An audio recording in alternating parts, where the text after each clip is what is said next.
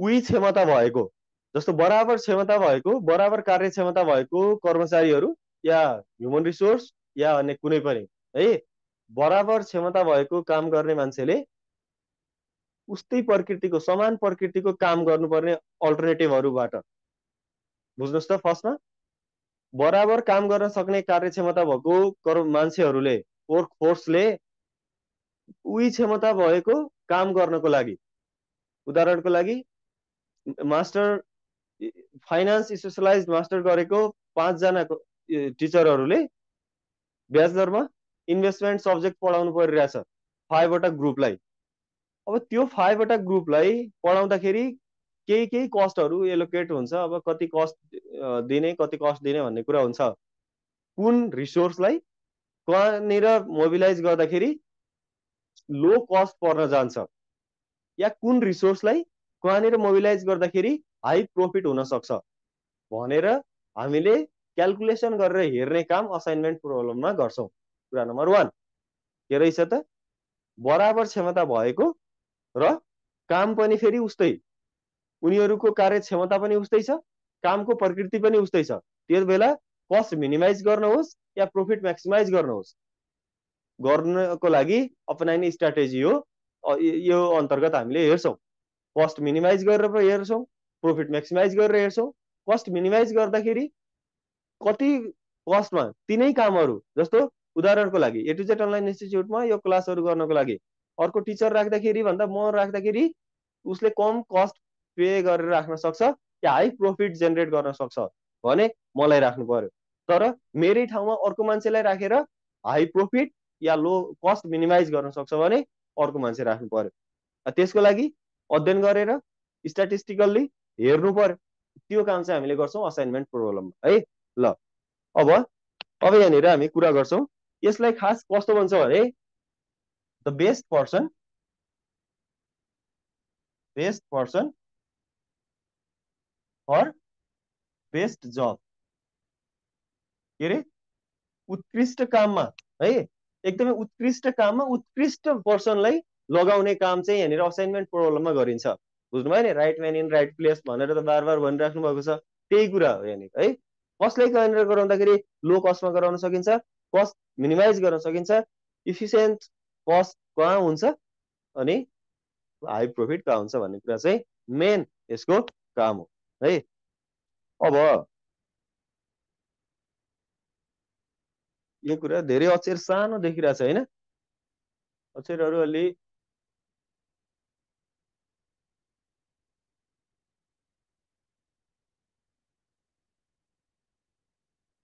ल। अब हामी हेर्छौँ नेक्स्टमा अब यो असाइनमेन्ट प्रोब्लमको केही अब्जेक्टिभ्सहरू छ। अब्जेक्टिभ्स पनि ठ्याक्कै के छ त भन्दाखेरि कि त कस्ट मिनिमाइज गर्ने हो कि प्रफिट म्याक्सिमाइज गर्ने हो? तर पनि अब्जेक्टिभ्स अफ असाइनमेन्ट प्रोब्लम्स भनेर थोरै कुरा अलिकति ब्याकग्राउन्डमा गरौँ। त्यसपछि अनि यसको के छ कस्तो छ स्टेप्सहरू कसरी क्यालकुलेसन गर्ने त्यतातिर जाउँला है त? एट फर्स्टमा अब्जेक्टिभ्स अफ असाइनमेन्ट प्रोब्लम्स अब अहिलेसम्म जोइन हुँदै हुनुहुन्छ अनि हो यसो भयो भने त्यसपछि कुरो बुझिँदैन है। भोलिबाट यसो चाहिँ नगरिदिनु होला है। ल अब अब्जेक्टिभ्स अफ यसको उद्देश्यहरू अब्जेक्टिभ्स मात्रै लेखेँ मैले। यसको मेन भनेको पर्सन जब फिट हो के? अरे पर्सन जब फिट। कुनलाई कुन कर्मचारीलाई कुन जबमा लगाउँदाखेरि बेस्ट आउटपुट हुन्छ त है? यो च्याप्टरबाट सेभेन पोइन्ट फाइभको पनि आउन सक्छ अरू कहिले फिफ्टिनको पनि आउँछ। फिफ्टिनको आएन भने पनि सेभेन पोइन्ट फाइभ चाहिँ फिक्स क्वेसन हो। पर्सन जब फिट भनेको बुझ्नुहुन्छ नि? कस्तो हो भने पर्सन जब फिट भनेको एप्रोप्रिएट पर्सनलाई एप्रोप्रिएट जब दिने हो कि? उपयुक्त व्यक्तिलाई उपयुक्त जब प्रदान गर्ने चाहिँ मेन उद्देश्य मेन अब्जेक्टिभ चाहिँ हुन्छ यो असाइनमेन्ट प्रोब्लम अन्तर्गत। असाइनमेन्ट प्रोब्लमको है। त्यसपछि कस्ट मिनिमाइज गर्ने हो। Minimization of cost. Minimization of cost cost मात्रै होइन टाइम पनि मिनिमाइज गर्न सकिन्छ टाइम मात्रै होइन इफोर्ट पनि मिनिमाइज गर्न सकिन्छ जस्तो जस्तो चारवटा मेसिन छ चारवटा मेसिनले ड्रिल गर्नुपर्ने छ अब ड्रिल गर्दाखेरि ए मेसिनले चारवटा अल्टरनेटिभ छ ड्रिल गर्नुपर्ने अल्टरनेटिभ पनि चार ठाउँमा छ चारवटा मेसिन छ चारवटा अल्टरनेटिभ छ कुन मेसिनले कहाँनिर ड्रिल गर्दाखेरि फास्ट काम हुन्छ त होइन? इफ हो यो कुरा पनि हेर्नु पर्यो अनि फास्ट भनेको कस्ट मिनिमाइज पनि हुनु पर्यो टाइम लेस टाइममा हुनु पर्यो एन्ड इफोर्ट इफोर्ट पनि कम इफोर्ट लगाएर काम गर्न सकिने कस्तो कहाँनिर छ त? भनेर थाहा पाउने काम रिकगनाइज गर्ने काम चाहिँ हामीले यहाँनिर हेर्छौँ। अनि अर्को चाहिँ अब प्रोफिट म्याक्सिमाइजेसन हो। Maximization of maximization of profit profit मात्रै होइन। नाफा त म्याक्सिमाइजेसन गर्नु पर्यो कहिले आउटपुट म्याक्सिमाइजेसन पनि गर्नुपर्ने हुन्छ। चारवटा मेसिन छ। चारवटा उस्तै प्रकृतिको गुड्सहरू प्रड्युस गर्नु परिरहेछ। ए भन्ने मेसिनले बी ए भन्ने मेसिनले एक्सवाला गुड्स प्रड्युस गर्दाखेरि छिटो धेरै प्रड्युस गर्छ कि? एले वाइवाला प्रड्युस गर्दा छिटो प्रड्युस गर्छ कि? यसले जेड भन्ने अल्टरनेटिभ या त गुड्स प्रड्युस गर्दाखेरि छिटो प्रड्युस गर्छ भनेर हामीले हेर्छौँ आउटपुट है त? प्रोफिट म्याक्सिमाइज गर्नुहोस्। आउटपुट म्याक्सिमाइजेसन गर्नुहोस् या इफिसियन्सी म्याक्सिमाइजेसन गर्नुहोस् या जे म्याक्सिमाइजेसन गर्नु भए पनि यो मेन अब्जेक्टिभ्स भनेको यो तिनवटा कुरा हाम्रो है? असाइनमेन्ट प्रोब्लमको अब्जेक्टिभ्स भनेर आयो भने cost minimization and profit maximization main भनेको त्यो हो पर्सन्स अफ फिट अब यति कुरा तपाईँहरूले बुझ्नु पर्यो है त? ल यिनी कुरा हो। अब अब हामीले असाइनमेन्ट प्रोब्लम सल्भ गर्ने एउटा मोडेल छ जसलाई हङ्गेरियन मोडेल भन्छ। हङ्गेरीको एउटा मान्छेले है? एउटा हङ्गेरीको साइन्टिस्टले या म्याथमेटिसियनले प्रतिपादन गरेको मोडेल हो। हङ्गेरियन मोडेल छ। त्यो हङ्गेरियन मोडेल हामीले फलो गरेर असाइनमेन्ट प्रोब्लम सल्भ गर्छौँ। है त? हङ्गेरियन मोडेल हङ्गेरियन मोडेल यो डी कोनिगा भन्ने मान्छेले प्रतिपादन गरेको मोडेल हो। D Konig. नाम कस्तो रहेछ? D Konig. के अरे नाम? D Konig. अहिलेसम्म ल हेर्नुहोस् त डी अनि कोनिगा। यो डी कोनिगा भन्ने हङ्गेरियन म्याथमेटिसियन हो यो डी कोनिगा भन्ने नाम गरेको मान्छे होइन? डी कोनिगा यो हङ्गेरियन म्याथमे म्याथमेटिसियन हो। उसले चाहिँ अब हुन त यो असाइनमेन्ट प्रोब्लम सल्भ गर्ने धेरै मेथडहरू छ धेरै टेक्निकहरू छ तर यो चाहिँ सिम्पल छ अनि इफिसियन्ट मेथड भन्छ। कि यसलाई इफेक्टिभ मेथड भन्छ खास। अरू मेथडहरू भन्दा उपयुक्त छ अनि सिम्पल छ क्यालकुलेसनमा अन्डरस्ट्यान्डिङमा होइन त्यो सिम्पल भएको कारणले हामीले यो हङ्गेरियन मोडेल युज गरेर डी कोनिगाले प्रतिपादन गरेको हङ्गेरियन मोडेलको थ्रुबाट के गर्छौँ भन्दाखेरि हामीले असाइनमेन्ट प्रोब्लम सल्भ गरेर हामीले कुन जब कसलाई फिट गर्ने भन्ने कुरा डिटर्माइन गर्छौँ। जसरी हामीले फर्स्ट सेममा स्ट्याटिस्टिकल मेथडमा जस्तो हामीले step one step two step three गर्दा हरेक कुरा जस्तो टी टेस्ट होस् जेड टेस्ट होस् एफ टेस्ट गर्दाखेरि स्टेप्सहरू फलो गर्थ्यौँ त्यसरी नै असाइनमेन्ट प्रोब्लममा पनि हामीले स्टेप्सहरू फलो गर्नुपर्छ जहाँ चारवटा स्टेपहरू छ।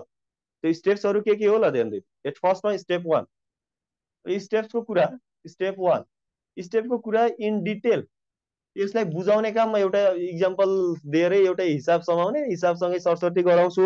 अब अहिले चाहिँ नर्मली स्टेप्सहरू लेख्ने। स्टेप्सहरू लेख्नुहोस्। रो अपरेसन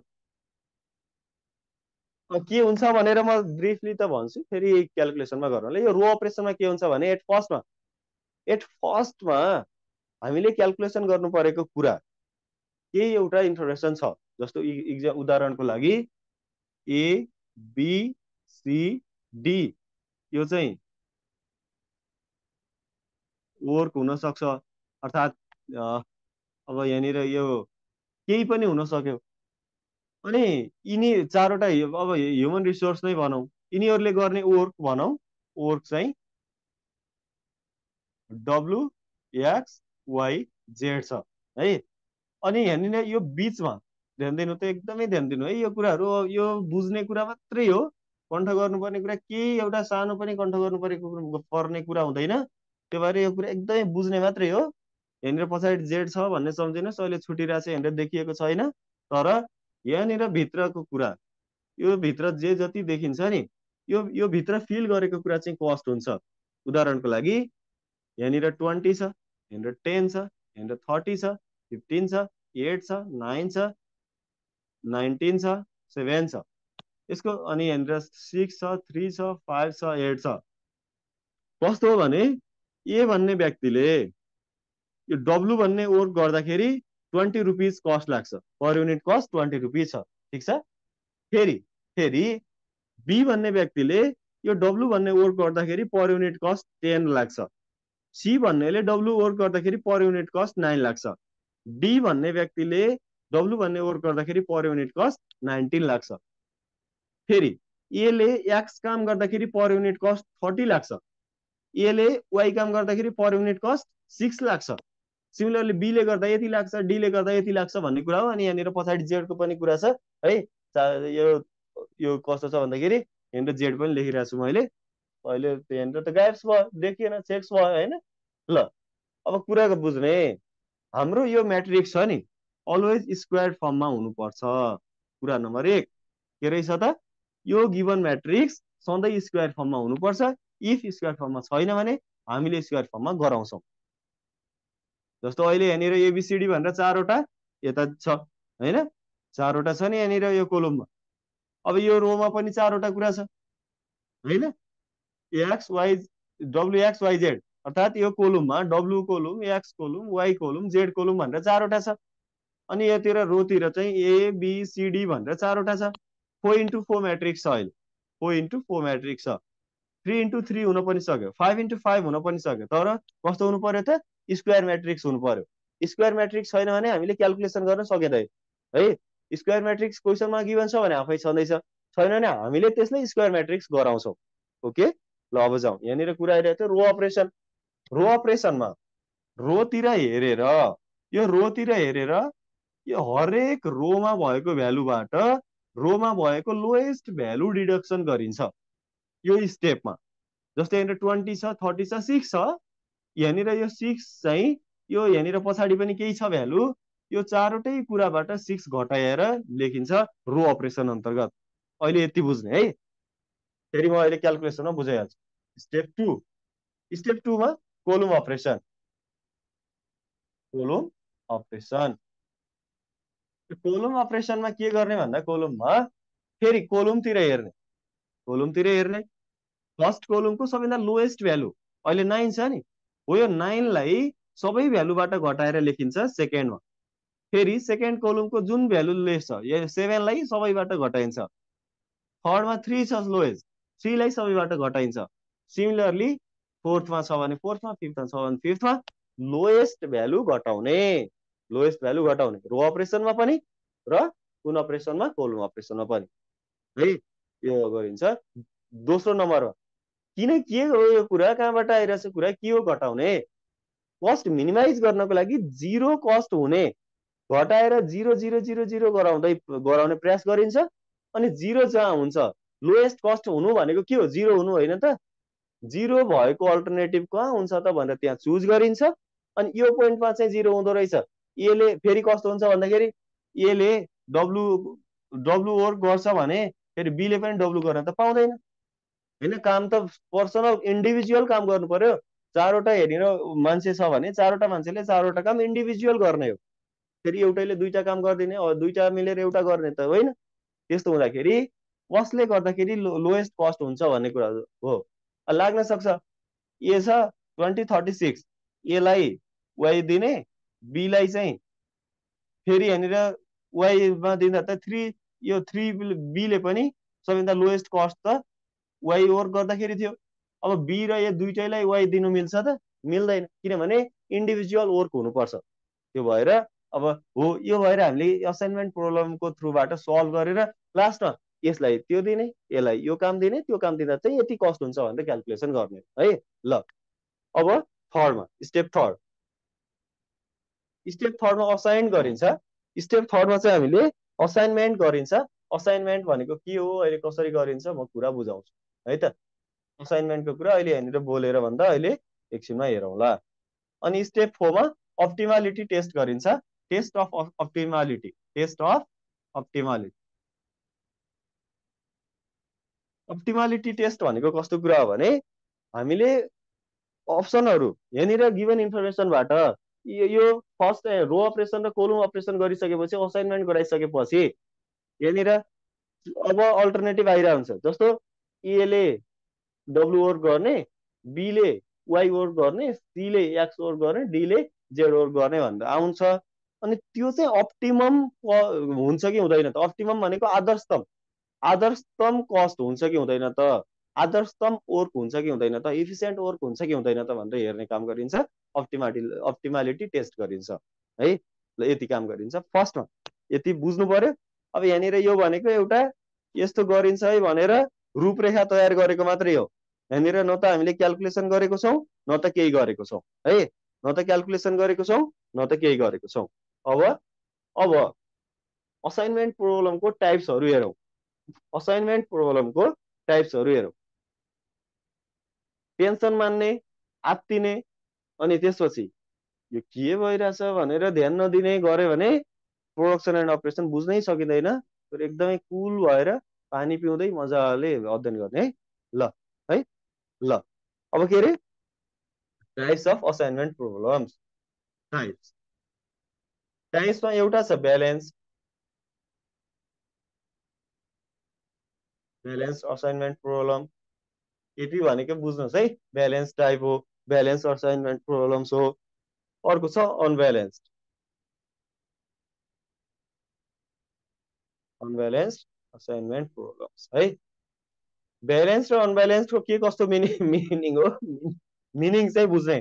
जस्तो अघि मैले यहाँनिर देखाएँ नि A B C D W X Y Z अहिले त देखिरहेको छ होइन जेड अघि त चेक्स भइरहेको थियो।